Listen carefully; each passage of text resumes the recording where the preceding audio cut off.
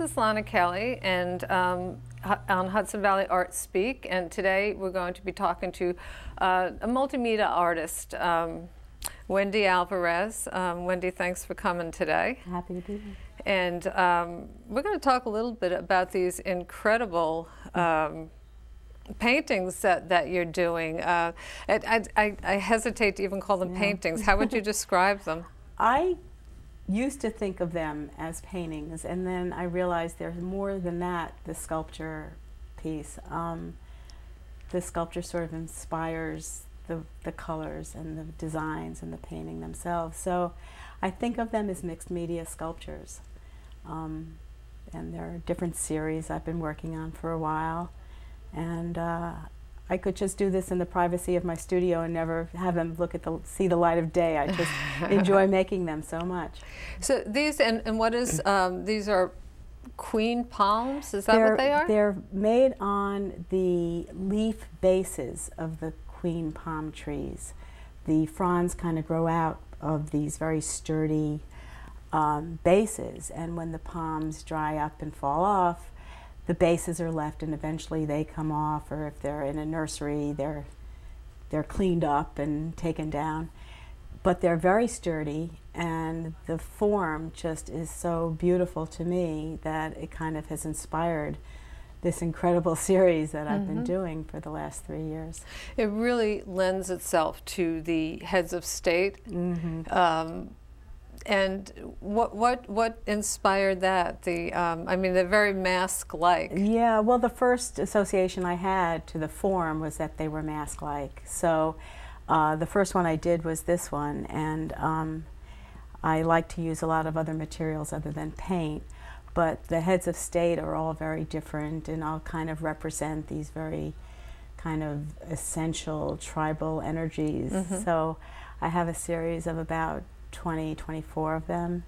And uh, I try to create different colors and designs and try to use designs from different cultures, a lot of Native American, mm -hmm. Aboriginal, some African design patterns. And uh, use a lot of different materials with them as well to create different textures. And, and are, are they all um, actual sculptures as opposed to masks that somebody might wear in a performance? Well, I actually got an email from someone very interested in knowing whether they could be worn. They're very heavy. Uh -huh. um, there are no eye holes in them, so it'd be kind of difficult to use them as a mask. But um, I see them more as decorative than I do as sort of useful masks. But if, if somebody was doing a theater piece and mm. asked you to create a series of masks that could be worn, would that be something you could do with this uh, I think they'd be a bit heavy. Uh -huh. I would like to, unless they carry them, you know, in front of their faces rather than yeah. put them over their uh -huh. faces. Yeah, uh -huh. it could be done, I suppose. Yeah. So, where do you get these? Uh, th this palm? They're not from my backyard. Yeah. I get them from a nursery in California. Um, originally, I went online. Originally, I found a different species of palm when I was visiting some family members in Arizona. Mm -hmm. They had blown off the night before. I was taking an, a morning walk and found these shapes on the ground, these beautiful forms, but they didn't resemble these at all. It's from another species. But I brought them home, and my brother packaged them up and sent them back to me in New uh -huh. York. And I used those. There were just a very, like four of them.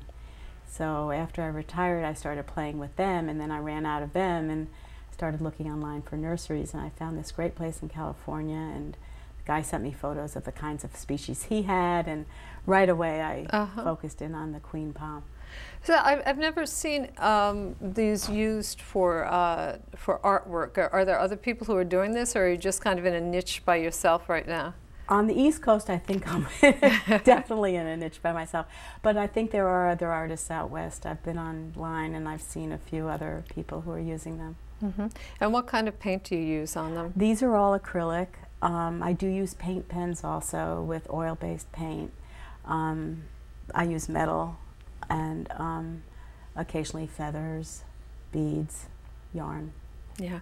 Well, the feathers kind of leads us into your next series, which yeah. is the aviary series. Uh-huh. Uh -huh. Yeah, those are it's my greatest love of birds. So I've done a whole series called Aviaries, and um, they're all different birds. I mix them up a little bit. Some are very abstracted and some are a little bit more realistic.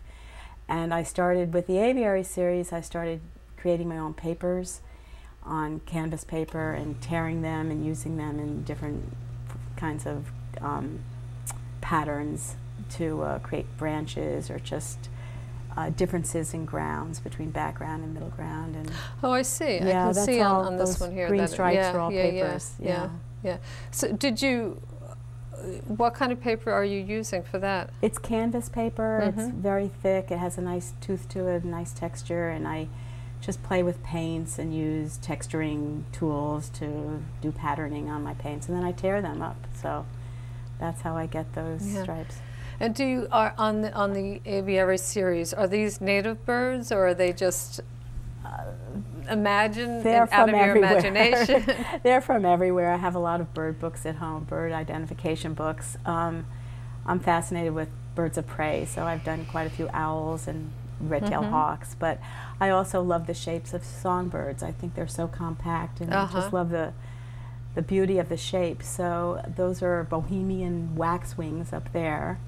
They're found in the northern states. We Uh-huh. don't see them around here. Um, here are just some songbirds with with a hawk or two. I think there's one on the Uh, other side. yeah, there's one on my side yeah, um, and I just like the shapes and the colors that I can play with. too. hmm Now, how long have you been? Uh, what? Um, where could people see your work? Well, I'm a member of the Katonah Museum Artists Association, so when they have shows, I always have things in their shows. Um, I'm a member of Arts on the Lake in Kent, and I show twice a year in their member shows. Um, and Putnam Arts Council, I Mhm. currently have a piece in their member show right now. Where is their uh, gallery?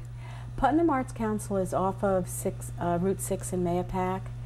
It's on, oh gosh, I can't, it's across from the library. If you take a left at the library, go up that road till Mhm, it ends and take a mhm. right, it's on the left. It's at the Belle Levine Art Center. Okay, I thought they had moved to Tilly Foster They Farm, but they're not after there. the fire, the fire, they restored the building and Uh-huh. they're back in their original building now. Yeah, the Arts on the Lake is a pretty interesting place. Yeah, That um, that was a firehouse, Mm-hmm. and um, artists have turned it into. A, is, is it a cooperative gallery? It's a And- vital community center. Uh-huh. It's got theater productions, concerts, uh, there are art shows there, there are classes that take place there.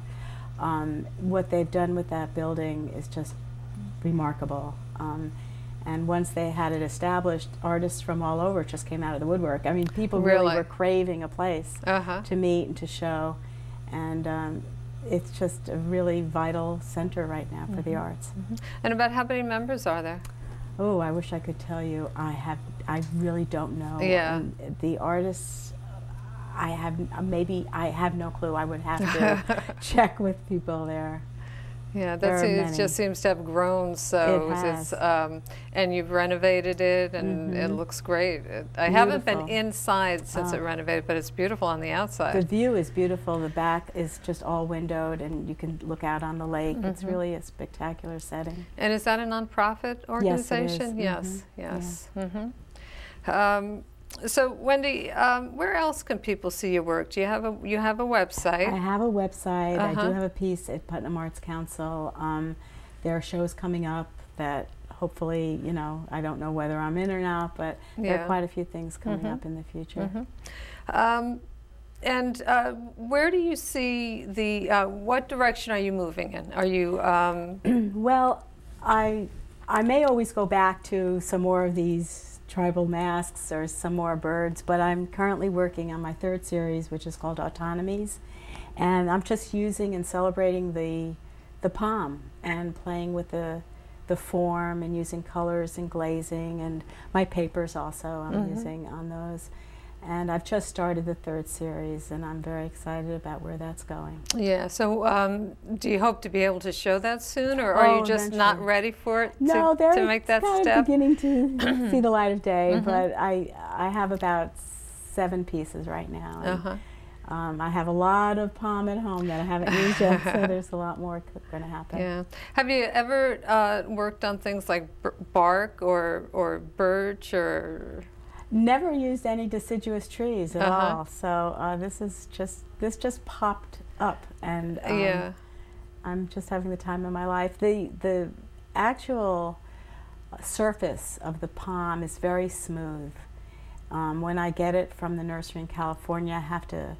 It has kind of like a fuzz on it. It's Uh-huh. hard to explain, but I have to scrape it and clean it and wash it, and then of course you have to prime it. But um, it's a process. But the surface itself is actually quite smooth, and takes anything. Yeah, yeah. That surprises me because I, I, I would have thought it would be rougher. No, And uh, no. you, you'd be smoothing it down so that it wasn't so rough. No, it's actually quite lovely. Yeah, yeah. pretty. And and what about? Um, do you have to coat these, or how do you preserve the uh, palm? I put um, well, I first I prime and then I do my work, and then I these all have a layer of um, medium on it. Uh, some are very glossy.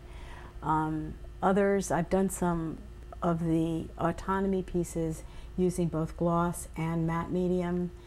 Um, Mixed to- together on the no, same. just on the same piece side Uh-huh. by side to Uh-huh. give part of a very shiny appearance and the other a very flat appearance. And I'm just playing now with. Yeah, the form. Yeah, I bet that can adds a lot of dimension to it. It does, and that's why I'm celebrating the form so much. And there's so much that I can learn about how to work with this kind of Mhm. three-dimensionality, hmm this element. Yeah.